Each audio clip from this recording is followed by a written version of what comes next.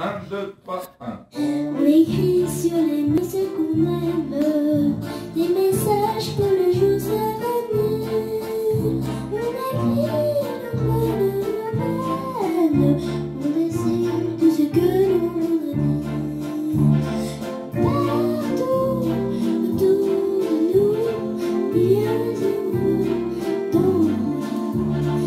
dans,